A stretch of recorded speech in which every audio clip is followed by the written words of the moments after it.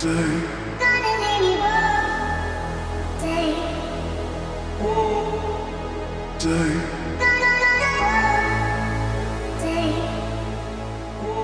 guys, it's Morgan from RacerX Performance Tuning, and today we're continuing the series Why Tuners Love Haltech.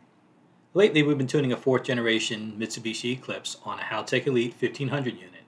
Now with the 4G Eclipse there aren't many tuning options to begin with, and going with the Haltech ECU is going to be your best option, but it will require quite a bit of dedication to get everything set up correctly.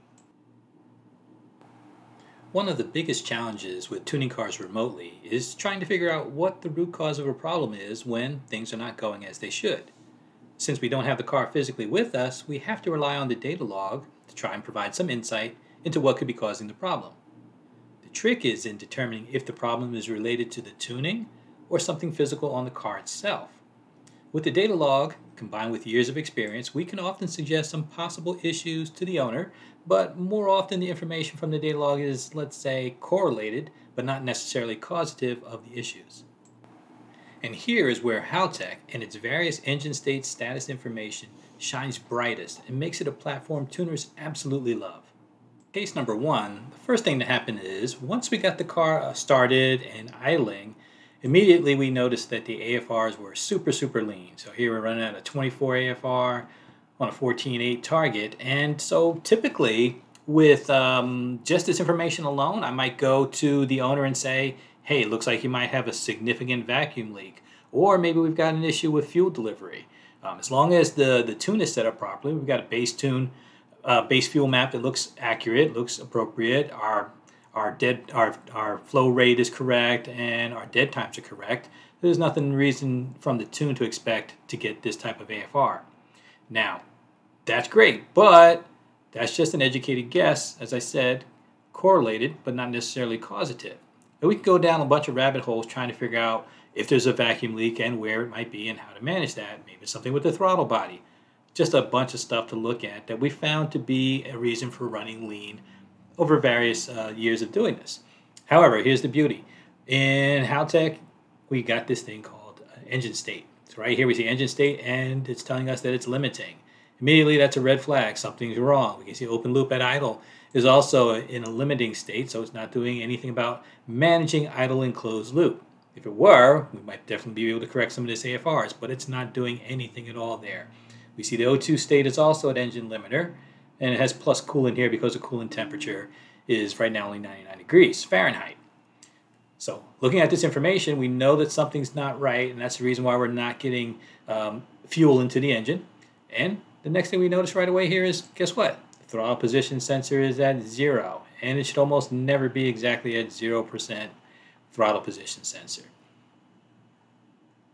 That information in hand, the owner was able to go and check his drive-by-wire throttle body and find out that it's actually his wiring had a little problem with it. So he fixed the wiring, and then boom, we were back up and running, no longer having this uh, this limit condition on the engine, and problem solved thanks to Haltech's engine state information.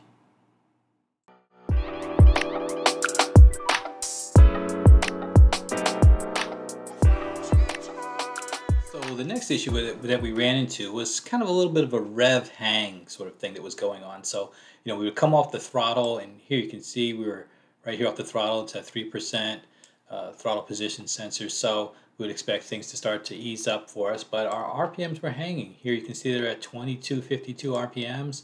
Uh, the wideband was still reading things a little bit rich when at this point in time we're expecting the injectors to be off and uh, the wideband to run fully lean. So taking a look around, once again, uh, the engine state information from Haltech helped us to solve what was going on here. And the first thing we're going to look at, it, we can see that obviously Haltech knew that there was a decel detected. It gave us a decel detected state of true. And you know, other parts of the engine saw that. We kind of went into idling, um, and even the O2 control state saw that things were being in a decel. So all of these engine states were kind of telling us information that would kind of back up the fact that we were in a decel event. However, the one thing that you'll notice here most importantly is that the decel cut state was inactive. And that's important because that's telling us why we're not in a decel right now. So what was going on that kept us out of a decel cut state? So with that information at our disposal, we're able to take some of that engine state information and use that to try to figure out what was going on, what was keeping us from getting into the decel cut state. So looking at a few things in our decel calibration tables, one, we see that the decel minimum RPM at uh, this temperature, coolant temperature of 193, puts us right here in 176 or above. It's going to say that in order to exit decel fuel cut and resume normal engine operation temperature, the RPMs are going to come, have, come down below 1300. So once they've gotten down below 1300, we're going to say, okay, let's turn the decel fuel cut off and return to normal engine state. However, with our RPMs at 2252, even if we were in a decel fuel cut state, we'd never be able to exit it. We're not there yet, so let's figure out what was going on that kept us from getting into decel fuel cut to begin with. Looking over here at our decel cut settings, uh, we can see right here, the minimum vehicle speed is 35 miles an hour. That's going to say that you have to be going uh, at least 35 miles an hour uh, or better and come off the throttle before decel fuel cut's going to happen.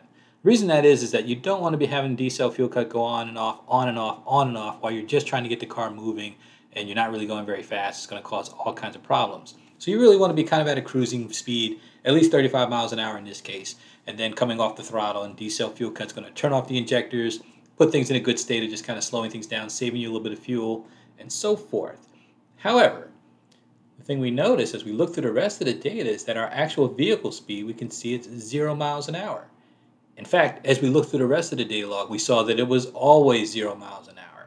So if we were running at a vehicle speed of zero miles an hour, we could never actually ever get into decel fuel cut. Makes sense. So with that information, the user just went back, took a look at his vehicle speed sensor settings, the, the wiring, fixed all of that. Now we're getting vehicle speed back in play and decel fuel cut starts to work just as it should. So once again, this is a great example where the information provided, the engine state information provided by Haltech solved us, helped us solve this problem, that is to say. I mean, normally, if you're getting a rev hang and you're trying to figure that out, I know for sure we would have been down a whole rabbit hole looking into the throttle body and the throttle body plate and the, the DBW settings and all of these things that actually had nothing to do with the issue at all. It's all about vehicle speed sensor. So right there, that's two issues that are solved thanks to the engine state information provided by Haltech. And you know what? It's yet another, yet again, another reason why tuners love Haltech.